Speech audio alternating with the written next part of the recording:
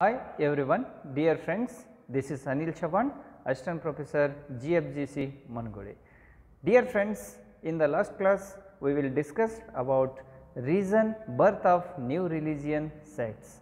Today we will discuss about Jainism.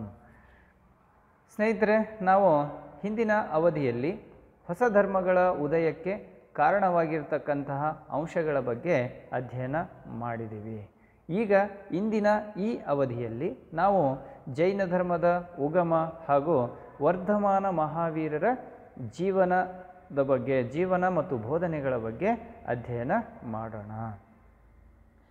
ವಿದ್ಯಾರ್ಥಿ ಮಿತ್ರರೇ, ವೈದಿಕ ಧರ್ಮದ ವಿರುದ್ಧ ಸೆಟೆದೆದ್ದು ಅಥವಾ ಅದರಿಂದ ಬೇರ್ಪಟ್ಟು ಸ್ಥಾಪನೆಯಾಗಿರ್ತಕ್ಕಂಥ ಮೊದಲ ಅವೈದಿಕ ಧರ್ಮವೇ ಜೈನ ಧರ್ಮವಾಗಿದೆ. ಅಂದರೆ ಈ ನಮ್ಮ ವೈದಿಕ ಧರ್ಮದಿಂದ ಬೇರ್ಪಟ್ಟು ಬೇರೆಯಾಗಿರ್ತಕ್ಕಂಥ ವಿಚಾರಧಾರೆಗಳನ್ನು ಹೊಂದಿ ಸ್ಥಾಪನೆಯಾಗಿರ್ತಕ್ಕಂಥ ಮೊದಲ ಅವೈದಿಕ ಧರ್ಮ ಅಂತ ಹೇಳ್ಬಿಟ್ಟು ನಾವು ಜೈನ ಧರ್ಮವನ್ನು ಇಲ್ಲಿ ಕರೀತೇವೆ. ಇಲ್ಲಿ ನಾವು ಈ ಜೈನ ಧರ್ಮದ ಬಗ್ಗೆ ಅಧ್ಯಯನ ಮಾಡೋದಾದರೆ ಜೈನ ಧರ್ಮ ಗ್ರಂಥಗಳ ಪ್ರಕಾರ ನೋಡೋದಾದರೆ ಈ ಮಹಾವೀರನಿಗಿಂತ ಪೂರ್ವದಲ್ಲಿ ಸುಮಾರು ಇಪ್ಪತ್ತ್ಮೂರು ಜನ ತೀರ್ಥಂಕರರು ಆಗಿರು ಹೋಗಿರು, ಆಗಿ ಹೋಗಿರುವಂತಹ ಉಲ್ಲೇಖ ನಮಗೆ ಕಂಡುಬರುತ್ತದೆ. ಈ ವರ್ಧಮಾನ ಮಹಾವೀರ ಇಪ್ಪತ್ನಾಲ್ಕನೆಯ ಹಾಗೂ ಕೊನೆಯ ತೀರ್ಥಂಕರರಾಗಿದ್ದಾರೆ.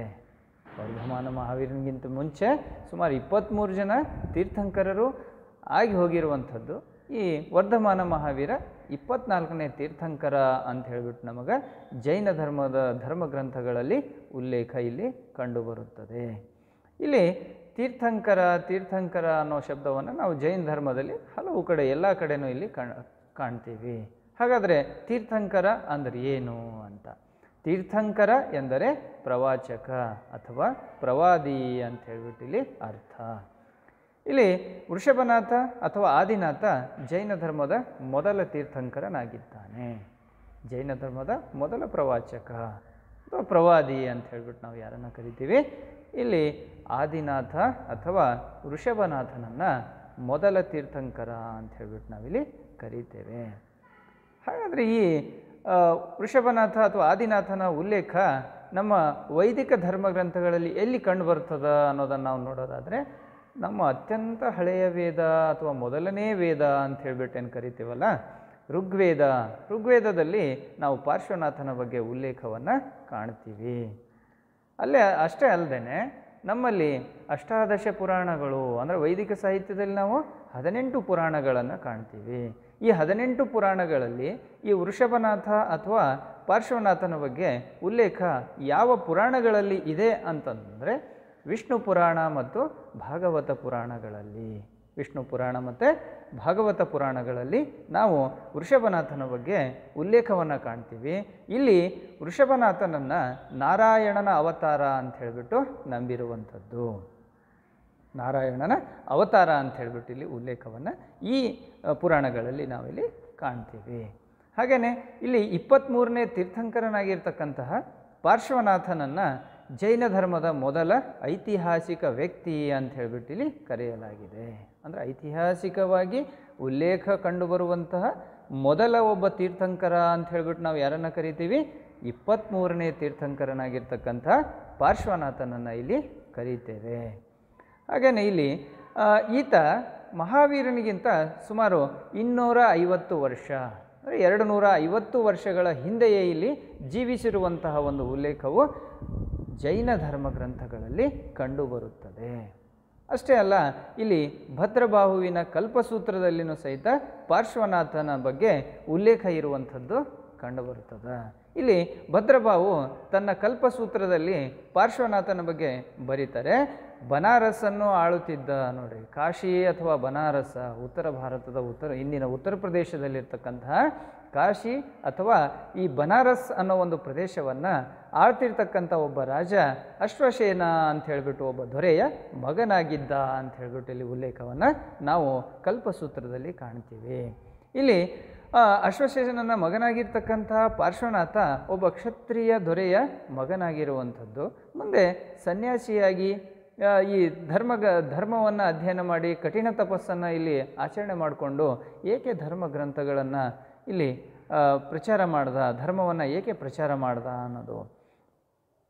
ವೃಷಭನಾಥ ತನ್ನ ಮೂವತ್ತನೇ ವಯಸ್ಸಿನಲ್ಲಿ ಐಹಿಕ ಸುಖಭೋಗವನ್ನು ತ್ಯಜಿಸಿ ನೋಡ್ರಿ. ಅಂದರೆ ರಾಜ ವೈಭೋಗಗಳನ್ನೆಲ್ಲ ತ್ಯಜಿಸಿ ಸನ್ಯಾಸಿಯಾಗ್ತಾನೆ ಎಂಬತ್ನಾಲ್ಕು ದಿನಗಳ ಕಾಲ ಕಠಿಣ ತಪಸ್ಸಿನ ತಪಸ್ಸಿನ ನಂತರ.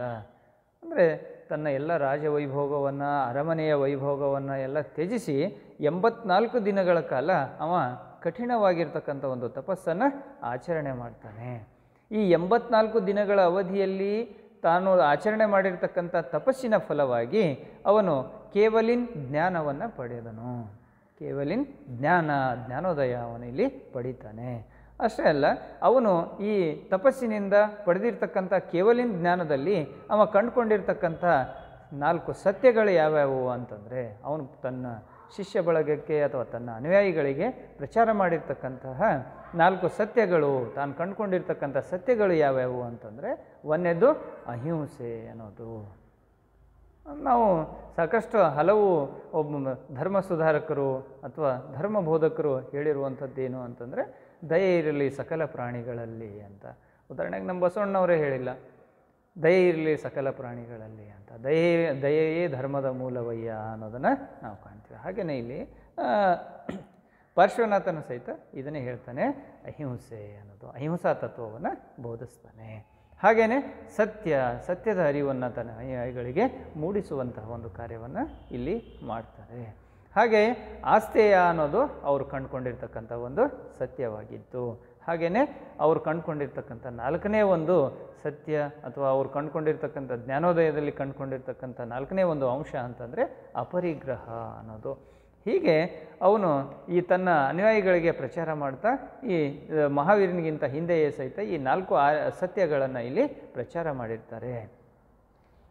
ಈಗ ನಾವು ಮುಖ್ಯವಾಗಿ ಇಲ್ಲಿ ತಿಳ್ಕೊಳ್ಬೇಕಾಗಿರುವಂಥದ್ದೇನು ಅಂತಂದರೆ ವರ್ಧಮಾನ ಮಹಾವೀರರ ಜೀವನ ಮತ್ತು ಬೋಧನೆಗಳ ಬಗ್ಗೆ ನಾವಿಲ್ಲಿ ತಿಳ್ಕೊಳ್ಬೇಕಾಗಿರುವಂಥದ್ದು. ಹಾಗಾದರೆ ವಿದ್ಯಾರ್ಥಿ ಮಿತ್ರರೇ, ಇಲ್ಲಿ ವರ್ಧಮಾನ ಮಹಾವೀರನ ಆರಂಭಿಕ ಜೀವನವನ್ನು ನಾವು ನೋಡೋದಾದರೆ ಈತ ಜೈನ ಧರ್ಮದ ಇಪ್ಪತ್ನಾಲ್ಕನೆಯ ತೀರ್ಥಂಕರನಾಗಿದ್ದ. ಜೈನ ಧರ್ಮದ ಇಪ್ಪತ್ನಾಲ್ಕನೇ ತೀರ್ಥಂಕರ. ಅಲ್ಲದೆ ಜೈನ ಧರ್ಮದ ನಿಜವಾದ ಪ್ರವಾದಿ ಅಥವಾ ನಿಜವಾದ ಸ್ಥಾಪಕ ಅಂತ ಹೇಳ್ಬಿಟ್ಟು ನಾವು ಮಹಾವೀರನನ್ನು ಕರೀತೇವೆ. ವರ್ಧಮಾನ ಅನ್ನೋದು ಇವನ ಮೂಲ ಹೆಸರು. ನಂತರ ಮಹಾವೀರ ಅಂತ ಇವನಿಗೆ ಹೆಸರು ಬಂದಿರುವಂಥದ್ದು. ಮೊದಲಿಗೆ ಇವನಿಗೆ ವರ್ಧಮಾನ ಎಂಬ ಮೂಲ ಹೆಸರಿತ್ತು. ಇವನ ತಂದೆ ಸಿದ್ಧಾರ್ಥ ಅಂತ ಹೇಳಿಬಿಟ್ಟು. ತಂದೆ ಹೆಸರು ಸಿದ್ಧಾರ್ಥ ಅಂತ. ತಾಯಿ ತ್ರಿಶಲಾದೇವಿ ಅಂಥೇಳಿ ಈತ ವೈಶಾಲಿ ಬಳಿಯ ಕುಂದ ಎಂಬ ಗ್ರಾಮದಲ್ಲಿ ಜನಿಸ್ತಾನೆ. ಇಂದಿನ ಬಿಹಾರ. ಇಂದಿನ ಬಿಹಾರದಲ್ಲಿ nowadays this place is in state of Bihar ಬಿಹಾರದ ರಾಜ್ಯದ ವೈಶಾಲಿ ಎಂಬ ಹಳ್ಳಿಯಲ್ಲಿ ಜನಿಸಿದ ಅನ್ನೋದು ತನ್ನ ಹದಿನೆಂಟನೇ ವಯಸ್ಸಿನಲ್ಲಿ ಕ್ಷತ್ರಿಯ ಕುಲದಲ್ಲಿ ಒಬ್ಬ ರಾಜನ ಮಗನಾಗಿ ಜನಿಸಿರ್ತಕ್ಕಂತಹ ಮಹಾವರ್ಧಮಾನನನ್ನು ಸಿದ್ಧಾರ್ಥ ಎಲ್ಲ ಸುಖಭೋಗಗಳಿಂದ ವೈಭೋಗದ ಜೀವನವನ್ನು ನೀಡ್ತಾ ಅವನ ಹದಿನೆಂಟನೇ ವಯಸ್ಸಿನಲ್ಲಿ ಯಶೋಧರ ಎಂಬ ಕನ್ಯೆಯೊಡನೆ ವಿವಾಹ ಮಾಡಲಾಯಿತು. ಯಶೋಧರ ಎಂಬ ಕನ್ಯೆಯೊಡನೆ ಅವನಿಗೆ ರಾಜಕುಮಾರಿಯೊಡನೆ ವಿವಾಹ ಮಾಡ್ತಾರೆ. ಅಷ್ಟೇ ಅಲ್ಲ, ಇವರ ಸುಖ ದಾಂಪತ್ಯಕ್ಕೆ ಅನೋಜ ಅಥವಾ ಪ್ರಿಯದರ್ಶಿನಿ ಎಂಬ ಮಗಳು ಸಹಿತ ಹುಟ್ಟುತ್ತಾಳೆ ಇಷ್ಟೆಲ್ಲ ವೈಭೋಗಗಳು ಇದ್ರೂ ಸಹಿತ ಇಲ್ಲಿ ಮಹಾವೀರ ಏಕೆ ಇಲ್ಲಿ ಸನ್ಯಾಸಿಯಾದ ಅನ್ನೋದು. ಏಕೆ ಇಷ್ಟೆಲ್ಲ ರಾಜಮನೆತನದಲ್ಲಿ ಹುಟ್ಟಿರ್ತಕ್ಕಂಥ ಒಬ್ಬ ಕ್ಷತ್ರಿಯ ಕುಲದಲ್ಲಿ ಹುಟ್ಟಿರ್ತಕ್ಕಂಥ ಯುವರಾಜನಾಗಿರ್ತಕ್ಕಂಥ ಮಹಾವೀರ ಅರಮನೆಯ ಒಂದು ವೈಭೋಗವನ್ನು ತ್ಯಜಿಸಿದ್ದು ತನ್ನ ಮೂವತ್ತನೇ ವಯಸ್ಸಿನಲ್ಲಿ. ತನ್ನ ಮೂವತ್ತನೇ ವಯಸ್ಸಿನೊಳಗೆ ಸಾಂಸಾರಿಕ ಸುಖವನ್ನು ತ್ಯಜಿಸಿ ಸನ್ಯಾಸಿಯಾಗ್ತಾನೆ. ಈ ಘಟನೆಯನ್ನು ನಾವು ಜೈನ ಧರ್ಮದಲ್ಲಿ ಏನಂತ ಉಲ್ಲೇಖಿಸಲಾಗಿದೆ ಅಂತಂದರೆ ಮಹಾಪರಿಖ ನಿಷ್ಕರ್ಮನ್ ಅಂತ ಹೇಳಿಬಿಟ್ಟು ಕರೆಯಲಾಗಿರುವಂಥದ್ದು. ಮಹಾಪರಿಖ ನಿಷ್ಕರ್ಮನ್. ಈ ಘಟನೆ ಅಂದರೆ ಮಹಾವೀರ ಅರಮನೆಯ ವೈಭೋಗವನ್ನು, ಸುಖಭೋಗವನ್ನು ತ್ಯಜಿಸಿ ಸನ್ಯಾಸಿಯಾಗಿರ್ತಕ್ಕಂಥ ಒಂದು ಘಟನೆಯನ್ನು ಜೈನ ಧರ್ಮ ಗ್ರಂಥಗಳಲ್ಲಿ ಏನಂತ ಉಲ್ಲೇಖಿಸಲಾಗಿದೆ ಅಂತಂದರೆ ಮಹಾಪರಿಕ ನಿಷ್ಕರ್ಮನ್ ಅಂತ ಹೇಳಿಬಿಟ್ಟು ಉಲ್ಲೇಖ ಮಾಡಿರುವಂಥದ್ದನ್ನು ನಾವು ಕಾಣ್ತೇವೆ. ಇಲ್ಲಿ ಅರಮನೆಯನ್ನು ತ್ಯಜಿಸಿರ್ತಕ್ಕಂತಹ ಮಹಾವೀರ ಸುಮಾರು ಹನ್ನೆರಡು ವರ್ಷಗಳ ಕಾಲ ನಿರಂತರವಾಗಿರ್ತಕ್ಕಂಥ, ಅಂದರೆ ಜ್ಞಾನೋದಯದ ಹಂಬಲದಿಂದ ಮತ್ತು ಜಗತ್ತಿನ ಈ ಎಲ್ಲ ದುಃಖಗಳಿಗೆ ಅಥವಾ ಈ ಜಗತ್ತಿನ ಐಹಿಕ ಸುಖಗಳಲ್ಲಿ ಮನುಷ್ಯ ನಿರಂತರವಾಗಿ ಹೋರಾಟ ಏನು ಮಾಡ್ತಾ ಇರ್ತಾನಲ್ಲ, ಈ ಎಲ್ಲ ಘಟನೆಗಳಿಗೆ ಅಥವಾ ಈ ಸಂಕಟಗಳಿಗೆ, ನೋವುಗಳಿಗೆ ಪರಿಹಾರವನ್ನು ಕಂಡ್ಕೊಳ್ಳಿಕ್ಕೆ ಅಂತ ಹೇಳಿಬಿಟ್ಟೇ ಇಲ್ಲಿ ಮಹಾವೀರ ಸುಮಾರು ಹನ್ನೆರಡು ವರ್ಷಗಳ ಕಾಲ ಕಠಿಣವಾದಂಥ ಒಂದು ತಪಸ್ಸನ್ನು ತಪಸ್ಸನ್ನು ಮಾಡ್ತಾನೆ. ಅಂದರೆ ಸತ್ಯದ ಹುಟು, ಹುಡುಕಾಟದಲ್ಲಿ ಸತ್ಯವನ್ನು ಕಂಡುಕೋಬೇಕು, ಮನುಷ್ಯ ಜೀವನದ ನಿಜ ಸತ್ಯವನ್ನು ಅರಿಬೇಕು ಅನ್ನೋ ಒಂದು ಉದ್ದೇಶದಿಂದ ಅವನು ಸುಮಾರು ಹನ್ನೆರಡು ವರ್ಷಗಳ ಕಾಲ ನಿರಂತರವಾದಂಥ ಕಠಿಣ ತಪಸ್ಸನ್ನು ಆಚರಣೆ ಮಾಡ್ತಾನೆ. ಹಾಗೆಯೇ ತನ್ನ ನಲವತ್ತೆರಡನೇ ವಯಸ್ಸಿನಲ್ಲಿ ರುಜುಪಾಲ, ನೋಡ್ರಿ ಆ ನದಿ ಹೆಸರು, ಇವನು ತಪಸ್ಸನ್ನು ಆಚರಣೆಯನ್ನು ಮಾಡ್ತಿರ್ತಾನಲ್ಲ, ಆ ತಪಸ್ಸನ್ನು ಆಚರಣೆ ಮಾಡಿರ್ತಕ್ಕಂಥ ಒಂದು ಯಾವ ನದಿ ದಡದಲ್ಲಿ ಇವನು ತಪಸ್ಸನ್ನು ಮಾಡ, ಆಚರಣೆ ಮಾಡಿರ್ತಾನೆ ಅಂತಂದರೆ ರುಜುಪಾಲ ಎಂಬ ನದಿಯ ದಡದಲ್ಲಿ. ಆ ದಡದ ನದಿಯ ದಡದ ಮೇಲೆ ಜೃಂಬಿಕಾ ಎಂಬ ಒಂದು ಹಳ್ಳಿ ಇರ್ತದೆ. ಆ ಜೃಂಬಿಕಾ ಎಂಬ ಹಳ್ಳಿಯ ಬಳಿ ಅವನು ಕೇವಲಿನ್ ಜ್ಞಾನವನ್ನು ಪಡಿತಾನೆ. ಕೇವಲಿನ್ ಜ್ಞಾನವನ್ನು ಪಡಿತ. ಹಿಂದೆ ನಾವು ಉಲ್ಲೇಖಿಸಿದ್ದೆ. ಹಿಂದೆ ನಾನು ಹೇಳಿದ್ದೆ ನಿಮಗೆ. ಏನು ಅಂತಂದರೆ ಪಾರ್ಶ್ವನಾಥನ ಸಹಿತ ಕೇವಲಿನ್ ಎಂಬ ಜ್ಞಾನವನ್ನು ಪಡೆದಿರ್ತಾನೆ ಮತ್ತು ನಾಲ್ಕು ಆರ್ಯ ಸತ್ಯವನ್ನು ಕಂಡುಕೊಂಡಿರ್ತಾನೆ ಅಂತ ಹೇಳಿಬಿಟ್ಟು. ಹಾಗೆಯೇ ಇಲ್ಲಿ ವರ್ಧ ಮಹಾ ಮಹಾವೀರನ ಸಹಿತ ಕೇವಲಿನ್ ಜ್ಞಾನವನ್ನು ಪಡಿತಾನೆ. ಕೇವಲಿನ್ ಜ್ಞಾನ ಪಡೆದ ನಂತರ ಇವನಿಗೆ ಜೀನ ಅಂತ ಹೇಳಿಬಿಟ್ಟು ಸಹಿತ ಇಲ್ಲಿ ಕರೀತಾರೆ.